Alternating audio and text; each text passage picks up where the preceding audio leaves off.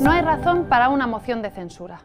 Con estas palabras, Begoña Villacís ha reiterado este mismo martes que no propondrá una moción de censura en contra del alcalde de Madrid, José Luis Martínez Almeida. Unas palabras con las que la vicealcaldesa de Ciudadanos ha afirmado su apoyo absoluto hacia el popular, así como su defensa de la inocencia del alcalde o una inocencia que es necesario que demuestre después de que hayan aparecido unas informaciones que apuntan a que su familia podría haber cobrado comisiones en unos contratos durante la pandemia del coronavirus. Quien no parece muy convencido de la inocencia de Almeida es el portavoz del Partido Socialista en Madrid, Juan Lobato, que sigue insistiendo en la necesidad de crear una moción de censura y que sea Begoña Villacís la que la lidere.